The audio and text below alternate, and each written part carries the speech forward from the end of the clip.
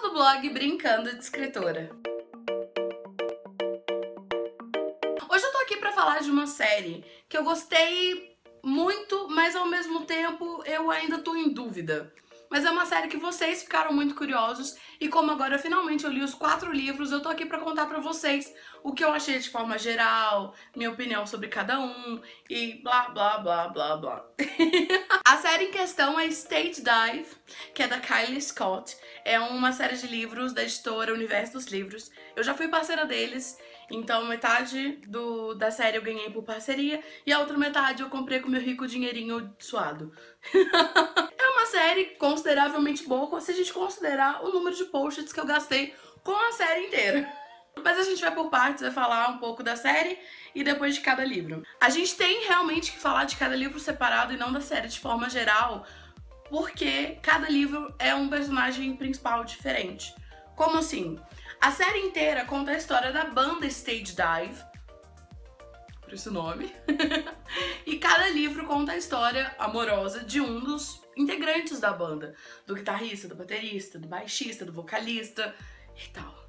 As histórias estão sempre ligadas, porque né, a banda tá ali junta, então não tem muito o que fugir disso. Então, os personagens que a gente conhece no primeiro livro estão no último livro, por mais que eles não sejam os principais. Cada um tem o seu. Todos os livros têm uma coisa em comum que eu fui perceber, assim, no último, que era um padrão, basicamente todos os relacionamentos começaram de um jeito meio forçado. E quando eu percebi isso, isso me incomodou um pouco. Quando eu li o primeiro livro, era tudo novidade. Então, pra mim, é, não tinha esse padrão ainda. Minha cabeça já deu uma mudada também desde então. Eu não sei se o que eu achei mudaria se eu lesse ele hoje.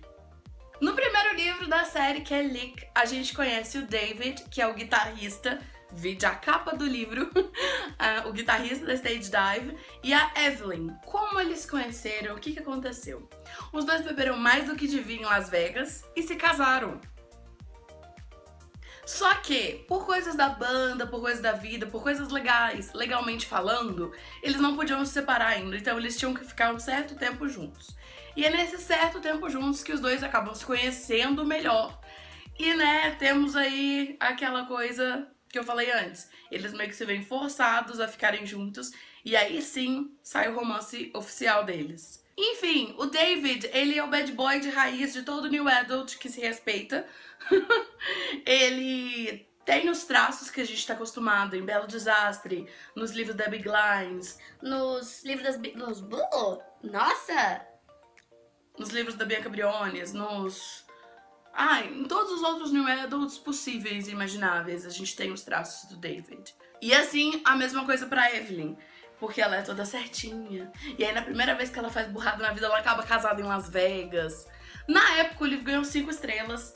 Só que é o que eu falei, fazem três anos que eu li esse livro. Então pode ser que o meu eu de agora achasse alguma coisa um pouco diferente, considerando o que os dois últimos, que são os que eu li recentemente, receberam mas eu vou comentar isso melhor no final, então vamos por partes. Próximo livro. O segundo livro é Play e ele é o meu livro favorito da série toda. Esse eu tenho até medo de reler também, mas... Eita! Reler também, mas...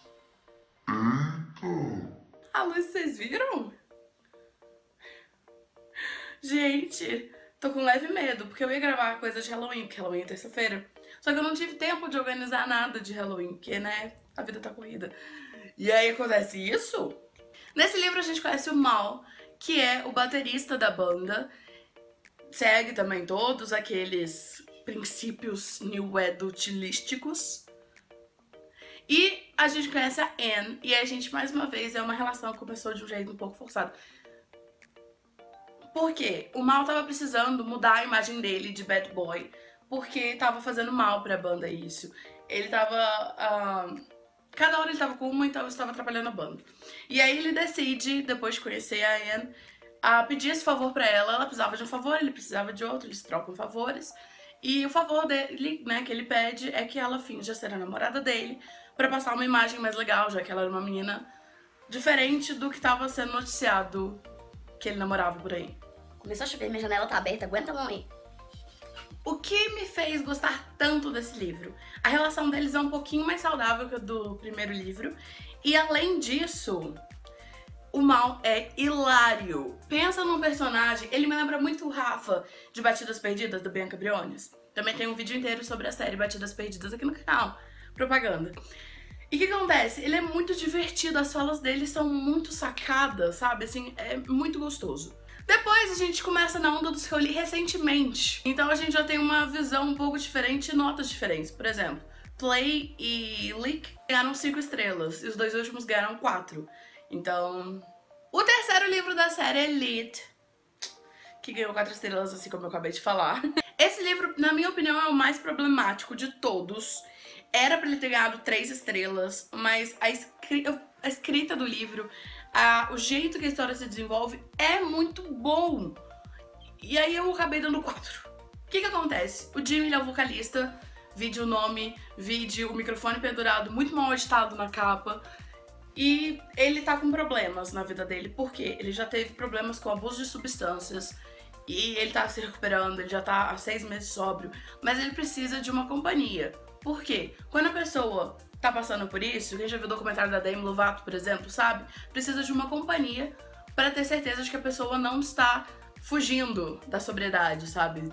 Tendo uma recaída e indo atrás de algum tipo de droga, alguma bebida alcoólica. E todo mundo que eles arranjavam pro Jimmy, o Jimmy dava um jeito de mandar embora, porque o Jimmy é um babaca.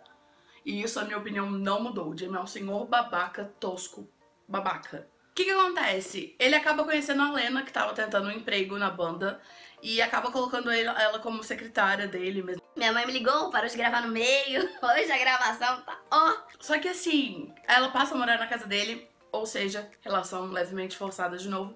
Levemente não, deles é babaca mesmo. E a Lena se apaixona por ele, mas ele é super, ultra, mega blaster babaca. E quer falar pra ela que ele não tá apaixonado, mas ele está, está apaixonado. Nossa, até engasguei. E aí fica nessa coisa, e é claro que eles acabam junto. Mas, gente, a minha relação com o Jimmy, que a Lena, eu gostei dela até o certo ponto que ela caiu nos babaquices do Jimmy. Mas o que acontece? Lembra quando eu falei, eu fiz até um vídeo sobre o livro Princesa de Papel? O quanto que eu detestei os personagens principais? O personagem principal, principalmente masculino, o. É a mesma relação que eu tive com o Jimmy. Babaca. Por último, mas não menos importante, a gente tem a história do baixista dessa banda, não é mesmo? E aí a gente tem isso no livro Deep, que também ganhou quatro estrelas. Aqui a gente conhece a Lizzie, que é a irmã da Anne, lá do livro do, ben, do Mal, sabe? E... Vou parar com a palhaçada, que hoje o negócio tá me dando até medo já. E a gente conhece o Ben, que é o baixista, que a gente também já tinha visto nos outros livros. O que acontece? Ele estava numa relação proibida, entre aspas, porque o Ben, assim como todos os outros da banda, é um babaquinha.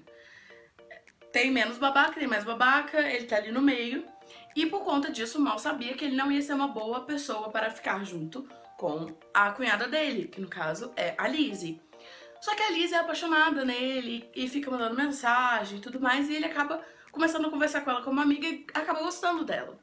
E aí, em Las Vegas, porque o que acontece em Las Vegas não fica em Las Vegas nesses livros, o que, que acontece? Os dois, né, tem ali um momento mais íntimo, mais hot, e aí a Lisa fica grávida. E isso não é spoiler, esse é todo o tchan do livro. E aí eles se veem forçados, assim como os livros todos, a ficarem juntos porque ela tá grávida. Isso me irritou muito. porque ele, ele deixa transparecer que tá ali obrigado por conta da gravidez. E amor, filho não se faz sozinho, tá? Tem duas pessoas pra fazerem um filho, ela não fez sozinho. Ela não fez sozinha. Terra o português. Isso me irritou bastante. Seria um motivo para ele ganhar três estrelas. Mas mais uma vez, a autora escreve muito bem. A história é muito gostosa de ler. E por isso ganhou quatro. No último livro também a gente acaba vendo uma conclusão maior para a história de todos os outros personagens, o que se deu deles, como que eles acabaram a vida deles. E é basicamente isso. Por que, que eu fiquei nessa de vou dar três estrelas, mas acabei dando quatro com os últimos? Porque a autora, isso para todos os livros da série, escreve muito bem. O livro é devorável. Esses dois últimos, eu li os dois numa madrugada. Tipo assim, um eu li numa madrugada, o outro eu li em outra madrugada. Depois de já ter lido outro livro no dia. Então, assim, são livros que você pode estar cansado, você tá. Devora. A história é muito bem escrita. E a autora, ela tem o que eu chamo de quê de fanfic. Por quê? O que é um quê de fanfic? É quando o capítulo termina te deixando com vontade de ler o próximo. Porque quando você tem uma fanfic, eu sei que eu já escrevi muitas nessa vida, você tinha que deixar alguma coisa no final do capítulo que desse vontade no leitor dele voltar no dia seguinte para ler o próximo capítulo.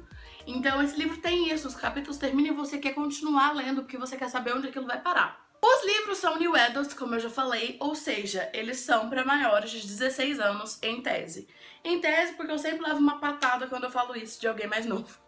Então, para evitar patadas ou receber mais dizendo isso, eu considero ele para maior de 16 anos e é basicamente isso. É uma série que eu indico para quem gosta de New Adults. Tem suas falhas? Tem, mas infelizmente ainda é uma coisa que está mudando com o tempo.